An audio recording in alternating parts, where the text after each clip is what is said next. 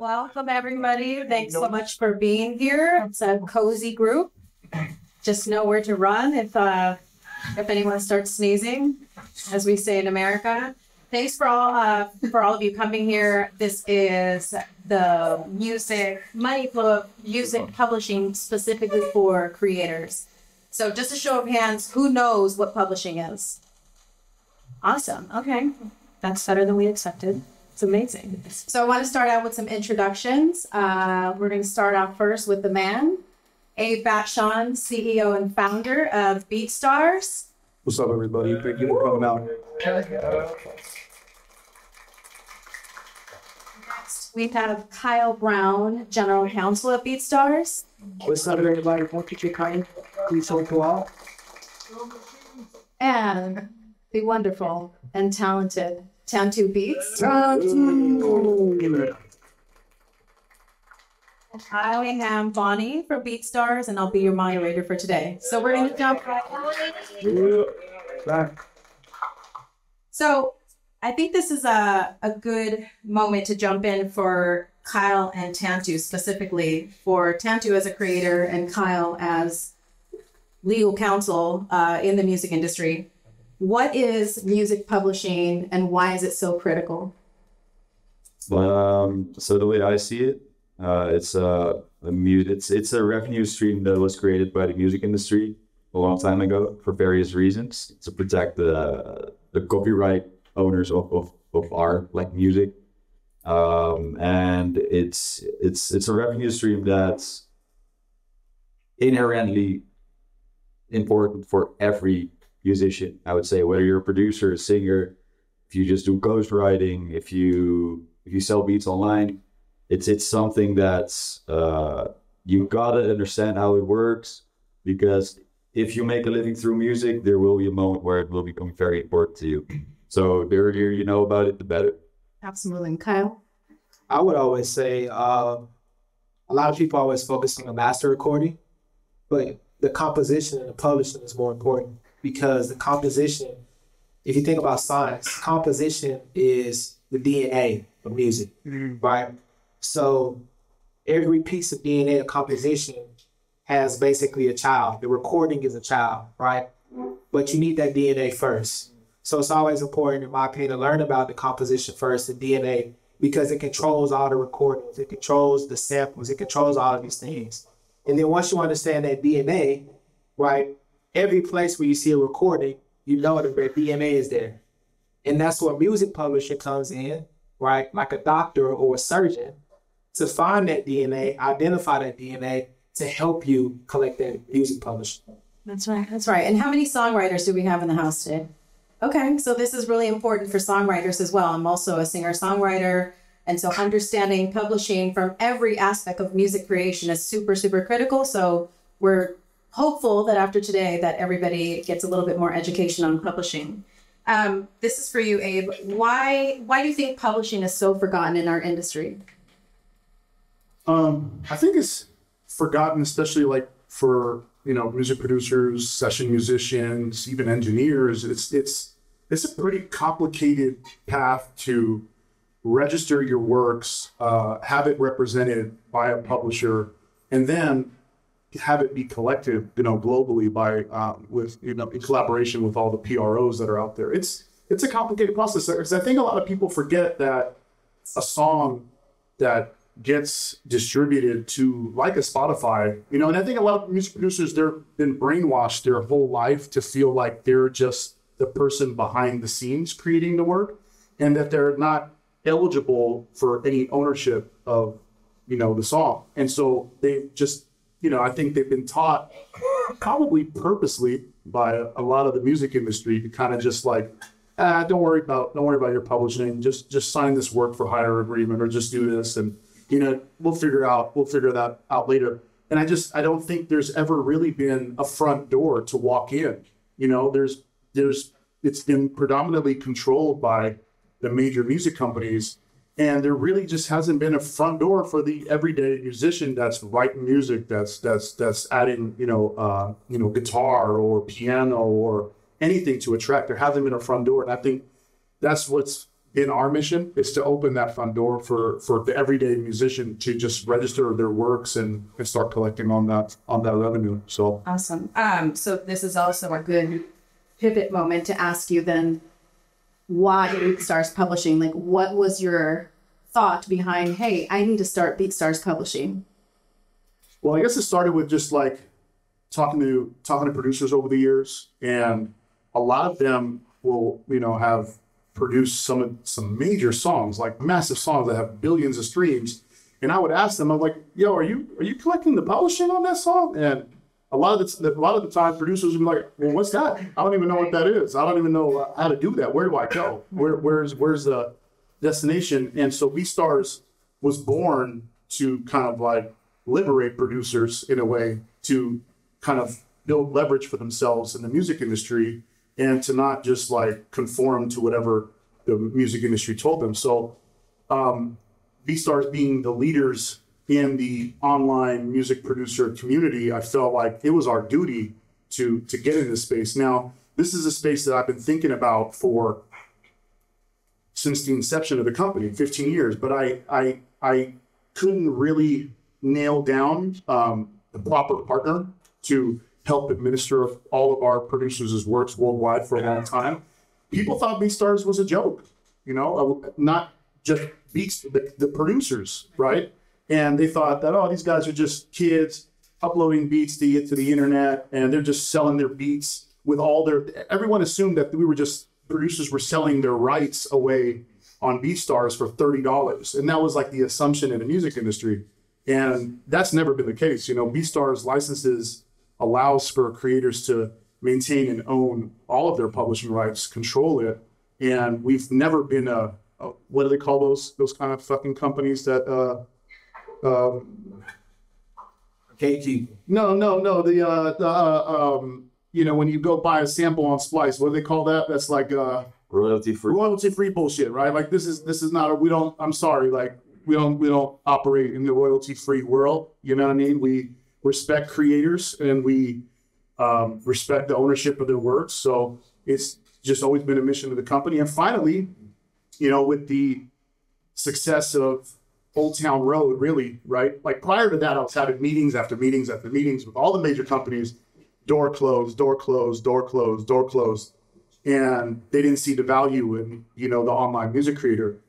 That song kind of just woke everybody up Right. it woke everybody up and it, and it allowed us to not just reopen those doors, but it allowed us to dictate the deals that we wanted to create with, with the major publishers. And um, and thankfully, you know, Sony has been a, a great partner and they believed in the mission and, and restructured their whole admin um, part of the business just for our creators. And so it's been it's been a blessing to see our producers get paid over $15 million in the last three years. So it's pretty cool. And I think for me, um, before I started working at BeatStars, watching the video of you and Jon Platt was also for further educated me as a songwriter on publishing and and didn't I had seen messages about BeatStars being backyard producers and then seeing Old Town Road and then when you step into the world of BeatStars and seeing how massive the community is and how talented everybody is, it was life changing for my brain as well, not just as an employee, but uh, you really become involved by it. So, so then for you also, when what was the moment when you realized like, oh, publishing is critical for my career too as a So, producer? yeah, so I think the first time for me was quite a while back. was like in 2012. I had my first placement uh, in the Netherlands, and it was with a rapper called Hef. Uh, the Dutch people here would know him. Um, and uh, it was released under like a sub uh, sub label of Universal. It was called Noah's Ark, and um, I just got sent a, a contract, right? Like, yo, this you you got the placement, sign this, and it will be on the album. And they didn't pay me. Uh, there was no master royalty in there, like, and I thought that was normal, right? Uh, but the only thing that I did have was my publishing, so I ended up making a couple hundred bucks from like the Buma Stemra, which is the PRO in the Netherlands. So that was when I was like, okay, apparently this is, and I thought actually that was my start. I thought, oh, that's how producer, that's the only way that producers get paid for placements, just They don't get paid upfront. They don't get master splits, whatever. They just have their publishing. So I think my start was a bit different, but uh, it wasn't until 2018, 2019 where I was having like bigger songs that were like played on the radio. Um, and that, that it became apparent to me like, okay, there's actual money in this. And then around the same time, I had like a, a couple of huge songs in Argentina and in Italy, like a couple of kind of random placements, but like super big, 60 million views, whatever. Um, and that's when I was like, okay, I think I gotta make sure that there's a company that's collecting those revenues because I feel like I'm missing out on a lot. And that's luckily almost that was almost when you guys were ready to to make a deal with Sony. So that was for me that was like a, a bit of the moment where I was okay now I can finally collect those bigger placements because the PRO in the Netherlands like it does their job but it's miss I think uh, every PRO is kind of missing pieces in there especially internationally like they don't have their they don't have enough tentacles to to really grab the money from where it really should come from. Right. And there's an important question that I want to circle back on, but I have to ask Kyle what do you think are, for you as an attorney, what are some of the biggest misconceptions in publishing? I think the biggest misconception is if it's not in the contract that someone sends you, it doesn't exist. Right. And um, it's very important, like you said, to have someone that's, you know, able to understand the contract, but to be able to explain to you what you need. So he just told you everything you need in the contract, right? There's four things that's important. You need an advance or fee. You need points, master points. You need publishing. You need to figure out who owns what. Is it a work for hire like Abe mentioned? Is it a sample? Um, who owns the master, who owns the publisher, right? And I think a lot of times there's a huge misconception of how important it is. But I I understood the value and learned about um, how important it is when I first started at BeatStars. A lot of my a lot of my day to day role was really the more the commercial side of business, what we do, right? But 30 percent of my time now has been more so on the publisher because all of the major labels are saying, "Hey, can we clear this record? Hey, can we clear this record? Hey, can can, can we clear this record?" And one of the things we pioneered for our producers, BeatStars Publishing, and a lot of them are here, um, Tantu, Seco, um, we started doing a non-exclu- uh, non-exclusive sample for songs, right? So the value, the, the biggest misconception is there has to be a work for hire. You have to transfer over your rights. But we've been advocating as a publisher, we're not trans our, our our guys and gals are not transferring their rights. They're gonna license their their rights. They're gonna own their rights, masters and publishing. You're gonna pay them a fee, and they're gonna get advance uh, points and all these different things, right? So I think the biggest one of the biggest misconceptions about publishing and the advanced, the, the master points is that if it's not in the contract, it doesn't exist. And you can't think out there, right? You have to say, hey, there's a contract here. Who do I know that may know something about it? Ask them, and they'll tell you. Attorneys will tell you. Good ones will tell you, like, this is what you deserve, and you will get that, right? And if you, you link up with a publisher, like he said, they'll help you collect that, all of those different royalties and their revenue streams. Amazing. So, um, you know, I want to jump into a little bit about why we're here, right? The money flow of music. So, how many points are you entitled to? Like a little bit of the educational part of it. Okay, uh, this is a great question. So, First, explain what are points, Justin. okay, yeah. So, yeah. So, okay, let's. And I'm not gonna try to like take too much time, but like when you think about a record, there's two sides of it, right? How many people know how? Uh, what are those two sides in here? Raise your hand if you know what are the two sides to a track that comes out. Okay, so you have the recording side, which is the sound recording copyright, and you have the compositional side, which is what's what we call publishing, right? So when a song comes out, typically what happens is a label reaches out and say, "Hey, we want this song," and typically I get that, "Hey, we want to use this song," right? Say Ride Wave, come see me, right? Um, so the label reaches out and I basically ask, "What's the advance?" meaning how much money can an artist get up front for their work being used, right? And this could be sometimes if it's an indie label, it might be 200. I've negotiated deals where it's 50,000 for a non-exclusive on the on the advanced side, right? And then you have on the sound recording side what's called master points. That means every time that song gets streamed on Spotify, YouTube, Apple Music, Pandora, there's a, a royalty stream that the producer is owed. And the average right now is two to five percent. We're getting around three for producers, but it's two to five percent, right? Um, and then what A texted me about the other night, which is very important, is connected to that master points in the US, what we call sound exchange, right? And a lot of producers don't understand sound exchange, but that's just like Pandora, right? When Pandora plays internet radio, you get sound exchange or what they call neighboring rights, right? I don't know if you all heard that term. Yeah, for the for the Dutch people here, that's SENA. Yeah, yeah. And then and then the other royalty stream is the publishing. And it's very key you all understand this. So all four of us are producers, right? And we make a track together. Does anyone know what's what we should all get? Does anyone know what we should get? You decide it's an extra. Right, right. We would decide, but like what what would we typically get, you know? uh, like from the whole thing, Yeah, or like half is so like the recording, like so probably like, or is it like eight? Well, yeah, you you're almost there, right? So he said half. So we would get 50. So 50 is reserved for the artists, 50 is reserved for the producers. So each one of us, if we were like fair, we would all get 12 and a half percent. Now that varies. Somebody may do some killer drums or uh, the melody that's better, and it's like they get all of it sometimes. But majority of the time, we're splitting this in fours, right? So Tantu has its publisher. Say, for example, we're all signed to BeatStars Publishing. BeatStars Publishing would collect the publishing, and then everybody would get their split, right? The master points will come from the label. The label will pay out, and then the label would also pay out the advance. So that's kind of that's kind of how the publishing side works, and that's also kind of how the sound recording side works as well. And also just to like compare, because uh, there's a lot of independent artists. It's not, you know, a lot of producers are also licensing to independent artists as well. So when you guys, for example, like DistroKid, right? When you you guys are getting splits on DistroKid, sometimes producers with the artists that they're collaborating with, those are master. Those are master points. Those are master splits. Um, for- Yeah, and, and I think also important to know, like if you work together with an independent artist, or maybe even if it's an artist that's signed and you really work together like a duo in a way, there's of course exceptions when it comes to master points.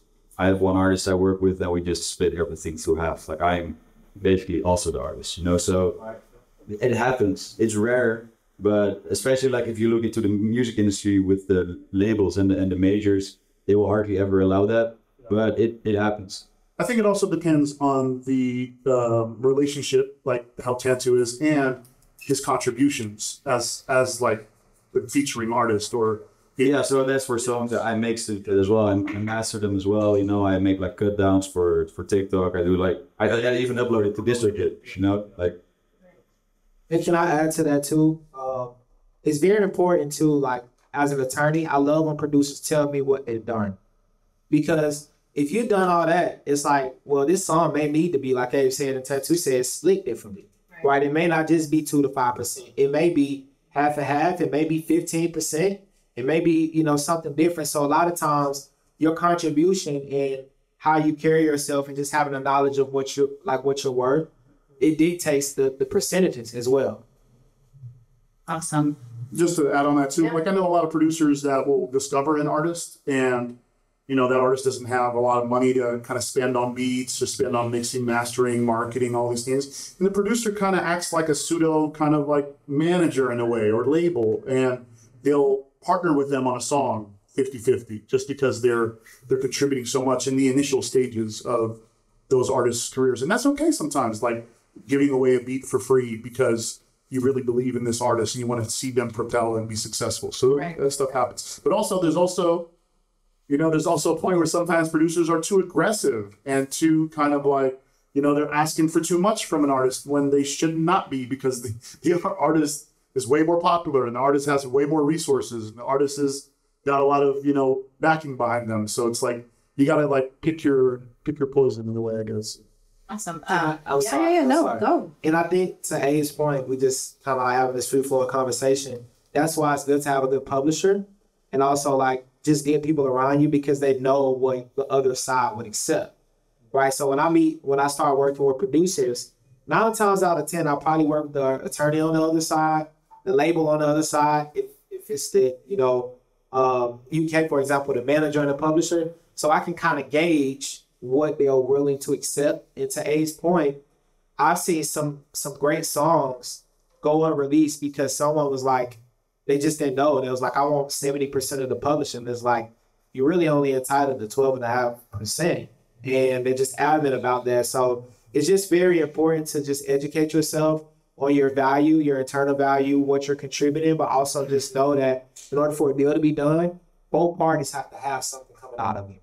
All right, so that's important. Right. This is for Abe. Um, how is BeatStars Publishing? How have you and, and the BeatStars Publishing team, how have you guys been helping creators collect on their publishing? Yeah, I think so many different ways. There's some people in this room. I'm not going to name names. I love these guys. Um, they've given away sometimes their publishing to certain artists because they believe in them. It happens, right? And not having a publisher help look at your license agreements, look at your your deals, look at kind of how you're arranging your relationships with your placements and artists and not overcommitting. There was another producer, you know, in um, in in South Korea that signed away all his rights to a major label artist that found him on BeatStars, and he didn't speak English and he didn't understand the contracts and just signed it all away. And he begged me, "Hey, can you can you help us? Can you figure out something? Can you do something for us?" And I don't think we were able to because it, it was a solid agreement that was that was signed. So I think producers navigating through this online world where things are just moving so fucking fast, artists are reaching out, send people are sending agreements. Every, we're getting too excited and we're just like, you know, we're we're not thinking about our business, our intellectual property, and, and just taking just having a team to kind of look over things for you, um, give you that kind of advice. And that was also one of the reasons, you know, why we started BeatStars Publishing because we kept seeing this over and over, producers being taken advantage, taken advantage of, and um, and it needed to stop. And having guys like Kyle and Irfan and our our legal team who are like Kyle just dropped the gem, you know, they're pioneering a whole new way of licensing music to the major labels that was never acceptable, and um, it's you know, and that's kind of like part of our suite of services, I guess, in a sense, where you have access to these guys. These, you know, lawyers are $400, $500 an hour. And these guys are doing crazy work for just our admin clients where we're not really generating a lot of revenue from, but we're just, it's part of our mission. Like if a producer is going through something or producer's having any kind of challenge, BeatStars is always there for them, no matter what. So that's why we started BeatStars Publishing. Amazing. Yeah. Love it. And do you want to add to that, Tantu, for, for you as a creator? How has it been game changing for your for your career? Um, of course, um, collecting the money. it's important. Game changing to my bank account. um, you know what I But also, but also having the resource there, right? Like to Abe's Yeah, point, yeah. you have somebody like Kyle in your corner. Yeah. Oh no. Of course no. So what is very important the moment you you sign a publishing deal, whether it is with a BeatStars uh, or, or another company, um, it's important to know what resources you're signing into. You know, um, I know that like I don't need Matt A&R's connecting me with that and that artist because I have my own network. I know what artists I can link up with. Uh, I can do it myself. You know, I don't I don't need help with that currently. But I will. I, I know I will need legal help. So I know like okay.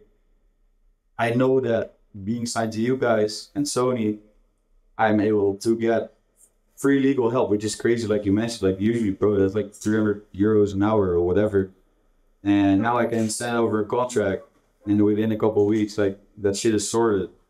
And I think that's a massive help because usually, you know, like even sometimes you have a placement and you're talking about like let's say a seven euro, a 700 euro advance or, or dollars or whatever.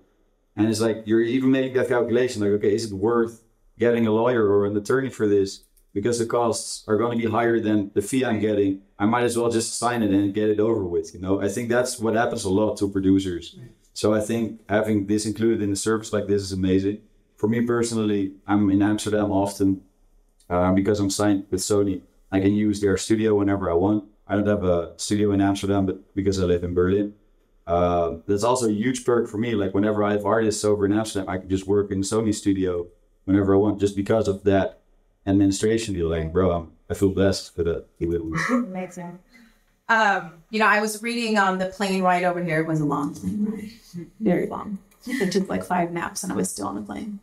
um, that pub rev is eight to ten times less than master royalties. And so, you know, I, I found that super interesting and just want to, I'll speak to, I'll turn this over to you, Kyle. Like, how are we addressing that problem? I think when we're we're, t- we're showing the labels that compositions are important, and I know I pissed a lot of them off, but I'm like, if our if our team's compositions are involved, so are we, right? And I think there's a huge push, right? So for example, publishing is like she said, the master side is the what everyone's worried about. Um, but we're we're making that push. A lot of people are making the push that the composition side should be equal, right? If not equal, less, uh, but clo- closer to it. So making that push there, and then also just just having these type of conversations, right? Because if people don't know the importance of publishing, if they don't understand why it's important, they won't advocate for it. And a lot of times, because of the rep the revenue difference, it's there's not going to be there's not a lot of conversations. People just focus on the master. They just focus on Spotify and YouTube. But what a lot of people don't realize is, again, like I said earlier, the pu- the publishing and the composition is that DNA, and every label knows that. Um, so there's just got to be this this mindset shift, that starts with all of us here to just realize that yeah, the the sound recording it, it generates the most money right now, but without the composition, without the publishing, there wouldn't be a sound recording. And I, just to add to that, I think like what Tantu's doing is addressing that part by being more involved as an artist. So I think a lot of producers, you know, need to be in the label business. You know, I think they need to be in the like discovery and and working directly with these artists because you know without producers these songs are not going to get done you know? These songs are not going to get pushed out. And your roles are really really important and you guys could be you know providing a lot more value. So if if, uh, if you want to partake on the master side like get more involved. Learn about what a label uh, how a label operates. Learn, about what what is it you can do as a music producer that could help this artist's career trajectory and um, work out deals where you're you're more involved and not just the background person in the studio just making beats. And another, I think another reason, Bonnie, you you say, well, why did we start BeatStars Publishing? I mean, look, look, every every week, every week, Billboard hits are made on the on the platform, every single week, and it's like gotten to a point where number one songs and Billboard hits, and it's like, okay, shit, this is the game is changing. So artists who younger artists in today's world they're- very introverted. They don't wait for a&rs to send them beats and shit. Like no one does that anymore. Like nobody does that anymore. Artists if you're smart they're going straight to the internet. They're discovering their beats. They're they're finding it at, at that moment. They're putting it out that night. They're not waiting around for a whole cycle of people and dependency on other people to get their work done. So when i started seeing that start to happen 10 years ago and i said okay hit after hit after hit. I'm like yo the, the community needs like representation. And it started to make me think that BeatStars as a marketplace is actually just a funnel for the publishing world. Now when you look at the total addressable market of publishing i think it's like 50 60 billion dollars. It's way bigger than licensing music online. So if BeatStars can be that funnel into song creation where millions of songs are being created every year on the platform, and you guys are starting to build that catalog and you're able to, you know, value that catalog. You're seeing investors right now going around spending 10 times the value of catalog to acquire it from producers. So I started thinking, okay, producers can create a catalog of a thousand songs, 200 songs, 100 songs, and they can change their whole life with maybe having the option to sell it if they wanted to, or just continue to collect it year over year for the, you know, we don't see Spotify and YouTube and all these plat- platforms leaving anytime soon. I think there's actually more and more new media platforms onboarding like TikTok that are doing deals with the publishers, doing deal with you know the the platform. So that I feel like there's going to be even more revenue streams coming out for for online beats. And so I think producers need to start shifting their focus from just not focusing on building their own online beat business, which is the core of what we do.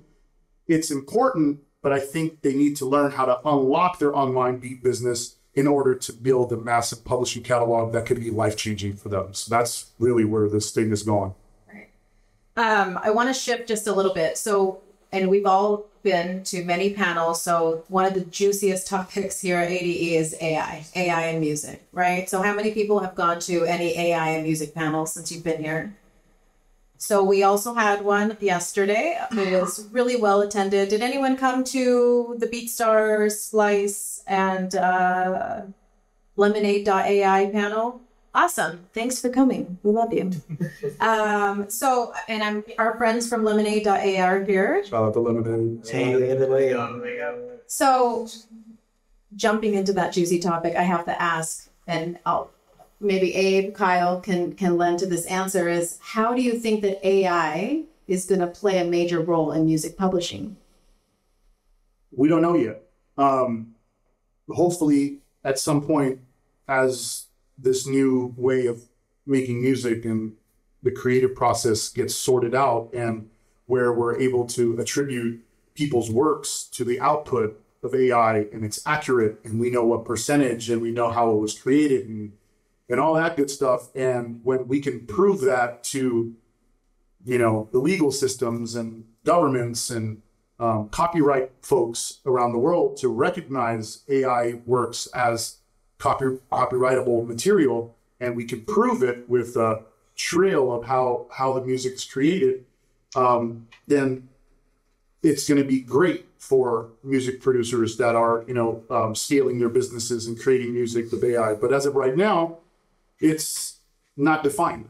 And so, as long as it, maybe Kyle has some more insight on it, but as long as it's not defined right now, it's really gray area where you can utilize it to, to be extra creative, um, output more music, get to where you need to get to, get these placements, and then hopefully when it's all sorted out, you already would, would have a lot of music out in the world, even produced in partially by AI um, that you can, you know, claim and have and have ownership on. But I don't know if Kyle has any thoughts on that. Any insight here? I think it goes back to, and you make great points. I think it goes back to that DNA that we talked about. Um, if you own that DNA, you can do whatever you want with it. But when you sign it away and you don't own it, whoever owns that DNA, like Abe said, once it gets sourced out, uh, the majors are doing deals with AI companies. And the people that's going to have all the leverage and value are all the people that own the DNA. So I think it's super important to own your DNA because if you own your DNA, um, and you work with ethical AI companies like Lemonade, right? There's going to be some great things that you're going to be able to do. I think also to A's point, one of the hardest things that, again, this part of the 30% of our week is just sorting splits. Like, I love doing it, but that is a very difficult process. People not stop being friends sometimes over splits. So if AI, my, my thing would be some type of AI that would allow us to scan everything that's been done in the past, I, I probably shouldn't say this because someone's going to steal this idea. Scan everything that's been, scan everything that's been done in the past against what's being created in the future, um, so that we can basically apportion a percentage to who owns what. Because a lot of times when I hear stuff, I'm like, I, there's one producer that may have got reached out to first that may have created the melody, and I love the melody, right? But there's this other producer that we may have read or we know they've done the drums. And the drums is the whole song, right? The drums is what's like taking this over the top, or sometimes it's vice versa. And you know, sometimes you can be biased on your side, and the other side can be biased. And I think AI will, uh, you know, goes back to that DNA, right? Helping you be able to reproduce your DNA um, and control that, but also help us to be more from a legal standpoint, that arbitrator, right, in the middle that helps us sort out who owns what, why they own what, and kind of like what the blockchain was supposed to do, give us a record and just make the registration process a lot easier before they, you know, everything gets to the publisher. Right. And you know, pivoting, you said uh, we use the word DNA a lot, right? Um, I would say for this man here, he I call him a serial entrepreneur, and I've watched him educate producers on not just throwing their careers away and be careful with what you sign. I've made those mistakes as a songwriter previously in my career where they're like, "You're not a known writer, so we're going to take twenty five percent." I'm like, "Oh, okay." foolishly, right? Because I wasn't educated. Um, so there's, I'm sure they talk about it all over the world, but heavily in America right now, there's a lot of talk about Katy Perry, John Legend, all these musicians, artists, producers that are selling their entire catalogs, right? And so I think that being a, being an entrepreneur, my question for Abe is how do you think that that's going to impact investing long term? Right? Instead of the traditional, I'm just a producer, now people are looking at their careers as like, oh, I can take this catalog and invest it into a home or a apartment complex or whatever it is.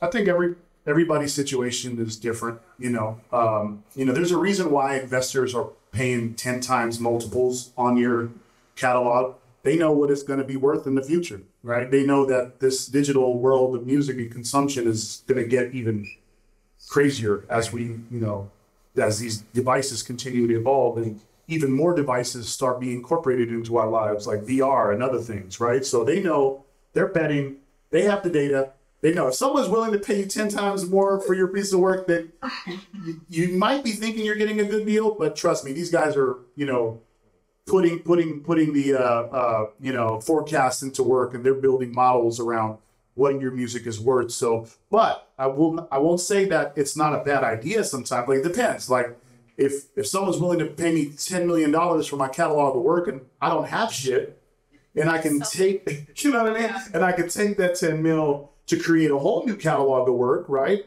and bet on myself, reinvest in myself then it might be a good it might be a good idea, right? It's you know it's kind of like a ten year advance, right? So um, just depends on where you're at. If you're loaded and you're chilling and you you, you know you don't really need the ten million dollars, maybe you know you can hold out. You know maybe you can hold out. It just really depends on everyone's situation. Right, right, right. Tantu, do you have anything to add to that? Yeah, I agree with the fact that it's it's just different for every situation, and it's also it, it, it very much so depends on your patience, I guess, as well. You know, like because these people investing in those catalogs, they know, okay, I will make a return on this investment 15 or 20 years from now. Even not within that time, will maybe only my kids can see a return of that investment. And usually things like that uh, are about patience. But you know, sometimes, let's say you quit music and you don't want to have to like handle your publishing situation and everything. You're like, you know what? I'm gonna start a hotel right. Turkey and I'm gonna just sell my catalog. You know, that you don't want to deal with that anymore. It's a great option then. Amazing. Can I, can I add to that really quick? Just to be clear on what we're saying, if your catalog is making a million, let's say your catalog is making three million dollars a year, right? Someone will approach you and say, "Hey, I'll give you thirty million dollars for it," right? So, to both of their point, it's just something that like to always think about. You don't have to do it, or you could. It, it makes sense to you, but the worst thing to happen, again, this goes back to DNA and the ownership. The worst thing to happen if you have that opportunity, it's something you want to proceed, is they're going to want to see the agreements. Mm. They're going to want to see who owns what, how much of it do you own. And one of the biggest things that I put in the agreements for our producers that a lot of people think they just give it to me, they don't even care about it, most agreements now say you don't have the right, you only have a one time right to assign your rights, right? So that's important in the agreements. You want to make sure that you even have the right to assign anything, right? Because if you don't even have the right to assign anything, it, you can't even you can't even assign it to someone.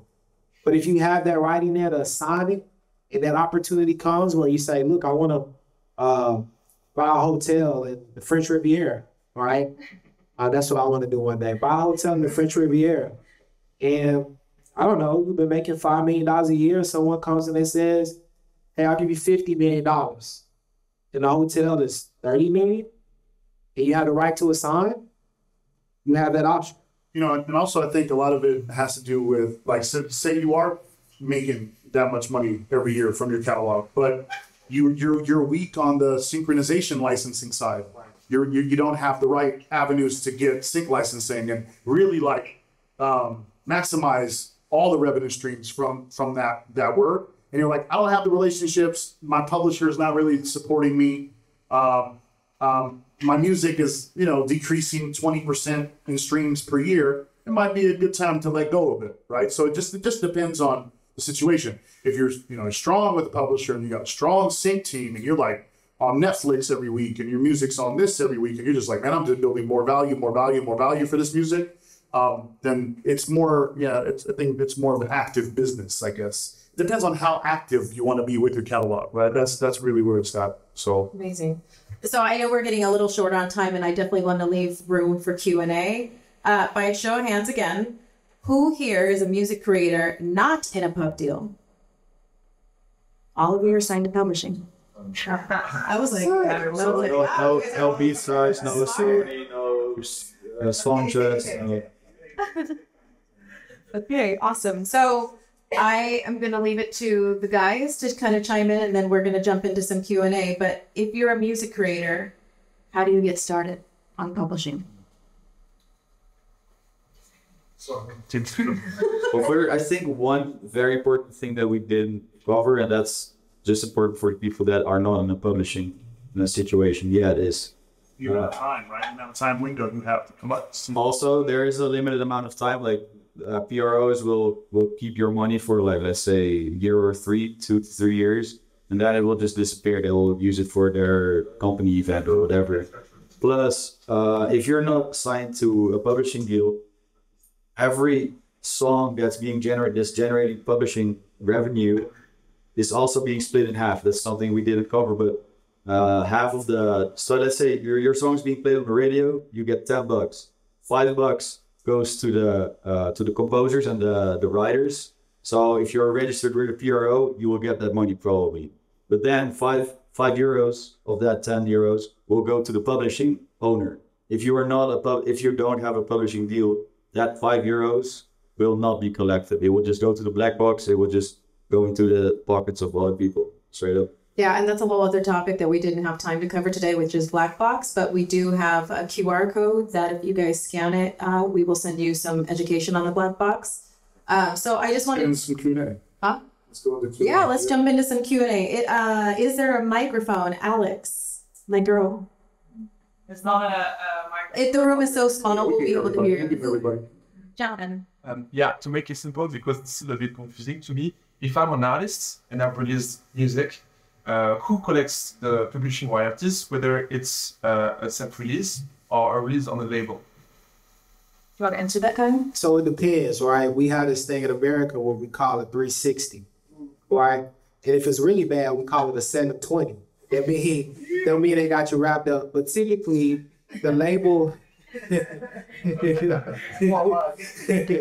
label, the label collects on the master side, and then like Tantu was saying, your your PRO collects, you know, your writer side, and then your publisher they collect your your publishing royalties for that specific song. So that's different entities? Different entities. It's It does not come But your publisher can do it all, actually. Your publisher can, if you sign with a publisher, they'll work with all the PROs and do that part for you. Right. Yeah. Next question, any more? Yeah. Uh, Yep. we'll take you first. Uh, yeah. So uh, I've been I've been using an American platform, United Masters, to sell my beats and collect royalties for a year now, and it's been working out good. But I'm, I'm curious, just in general, like, is there is there more that I could do in terms of, like, what's what's the steps to find the right publishing deal or like the What kind of royalties are they collecting for you? uh like streaming streaming Master royalties. yeah Master royalties. yeah yeah master royalties. First of all, you need to take the beats off that shit. Because you ain't selling nothing compared to what BeatStars is, is going to do for you. first, first thing, you don't need a series, you probably switch. You know, you know, stuff. You know, we don't dance all into videos. That's good. So, uh, yeah, come on, come on, BeatStars, man. Sell your beats there, and then lock in with us on the publishing side, and we'll get all the all the publishing side. You can let them keep doing the master side. That's cool. You can still let them do that that shit. But um, we're we're here for you, bro. and I think on your question too, uh, and I think Tantu's getting to this. There's typically two types of publishing deals. I think we need to cover this super quick. A pub admin deal, that means hey, we collect a percentage or a fee, you own everything. And then you have what's called a co-pub deal, right? They collect probably half of they collect half, right? And they own half, right? A company will own half. We start we do admin deals typically. So that's that's the main thing to look out for a lot of times as a creator getting started right? You want to try to get yourself into an admin deal where paying somebody a fee to collect for you globally, but you still own and maintain that DNA. I know a lot of producers, probably like you, you're releasing sometimes instrumentals to streaming services like Spotify and stuff like that, Uh, right? So, yeah, some not, not all of them, but yeah. Yeah, but a lot of producers do. They'll put like chill beats, lo-fi beats. They'll they'll put just instrumentals on there, and a lot of producers don't understand that you get it. You can also collect hundred percent of the publishing on that too. So yeah, you're getting your Spotify royalties from like DistroKid for your instrumentals that are on there, but you're missing out on a whole the whole other part as well. Uh, gentleman in the jacket. Uh, yeah, you asked us earlier who in the room has a publishing deal. I, I'm in the U.S. I'm registered with ASCAP. Um, I have my publishing with ASCAP. It, is that what you were asking, or am I missing something? Well, they're only collecting a part of. Yeah, yeah. So one thing about ASCAP, um, in the, I think it was 1948, the U.S. did what's called consent decrees. So the PROs cannot collect mechanicals, right? So that's the difference between having just a PRO where they out they act on the writer and composer side. They're banned in the United States from collecting mechanicals. So you're missing out on a lot of these different streams because you would need a publisher to help you collect those mechanical royalties, which a lot of times are, are a bulk of the revenue that you get when your compositions are used. The magic. Sometimes sometimes it's the majority of the revenue you could be missing out on. Uh, where do we get that QR code? Post it, go see us afterwards. We will take care of it. Now, and just anybody else, because I, I do want to mention before everybody bounces from here, uh, there is the Breakthrough with BeatStars demo listening session and judging panel. And uh, anyone that signs up for the QR code, I'm happy to give you a BeatStars t-shirt. They're super dope and super cozy. Yeah, you got a lot of merch. Some other merch. Uh, any more questions? Yes. So uh, whenever you start producing, you most of the time don't have a lot of money uh, uploading some experience. So you just start making beats. Uh, but the concurration, or me say competence, competition on BeatStars or YouTube for any platform is immense. How will you make your beats stand out and make sure that you get discovered? Because even we- we're talking about people trying to take advantage of the uh, royalty deals and stuff. Even to get discovered by someone like them is very, very hard. So how do we make it? I think I'm going to have Tantu and Abe. I, I think actually like the, the so the next the demo uh, drop section. I don't know if you have time to stick around, uh, but I think we will be covering that a lot actually. Yeah. Because we're gonna listen to beats and gonna critique them like, go, okay, what could be better in this? How could this stand out more? So if you have time to stick around, But I think also, um, Abe, I'd like you to answer that. This is something you're super passionate about. Is is how did how does this beat stand out amongst the millions of beats on BeatStars? Well, the thing is, I'm not a producer, right? I'm a songwriter, so I think Tantu's more has a better, better insight on how you should approach making beats, probably. But in terms of marketing them and you know finding an audience for them, um, you know, it's just like every other business in the world. You gotta you gotta create that menu, that and that menu's gotta have a a, a, a, whole large consumer base that's wanting that kind of music. So you know, on BeatStars, like some of the top keywords, for example, are you know Drake type beat or sad beat or or you know uh, drill or trap, right? So you know, it's understanding what the demand is first, you know, but also making music that's true to you, though, you know, because I mean, there's so so many so many genres are doing so well on BeatStars. It's not just those tags. There's thousands of them, you know, generating sixty million dollars a year.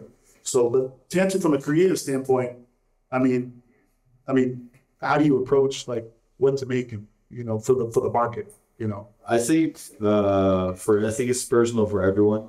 Um, for me, a very important moment uh, where I was like, okay, I think I finally discovered what type of music fits me as a brand, and that was kind of me going back to the moment that I started listening to music and what was I listening to, what, what kind of music do I enjoy without without the knowledge of how to make music. Like you know, before you start making music, you're a fan of music. After that, you're also a fan of music, but differently. The period before you start making music, what really kept you listening to the music? What kind of music was it, and what in the music was it that attracted you so much? Now try to create that music for your younger self. You know, try to excite your 14 year old self. And I think that's usually where someone's signature sound is, and that's also going to be the identity, the DNA of your business. And I would encourage you to also stick around for our meetup and talk to some of our BeatStars producers, and maybe they'll they'll connect with you after. Times right after this or right now? It's it's going to be We got Accent, Seco, Freck in the building. We got Levi Beats in the building. There's so many dope producers here. amazing. Is there any more questions? Yes. Um, this is not about the publishing. Um, this is more about the, the seasoned artists building their profile.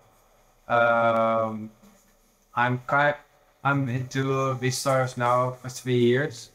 Uh, I really like all the stuff, but I also am missing a few things that I think with all the success and uh, could easily be realized and that is the way uh, your profiling details like that like there is a very clear example i give. Right now you cannot uh, specify which instruments you have used in your uh, composition and arrangements. Uh, only very old-fashioned uh, uh, orchestral instrument categories. But i for instance would like to specify I've used this synthesizer. If you download my whole pack, you can even have the patches with it. I've uh, used this gear. Um, so that would be an, one example. And also uh, the way you're building your cat, categories. In my case, there's many categories. And uh, for me, it's still a bit unclear. Like, okay, I have these playlists, but I cannot publish them do I have to make it into an album? Uh, but then it's not a playlist. Like I want it to be organic, so I want it to grow over time. So these are things for me like um, I would easily pay a hundred dollars a month if these things would be better. Like for me, it's not only a platform; it's also a backup system. It's a legal system. It's even might be a system that uh, will take care of my heritage when I'm gone. Right.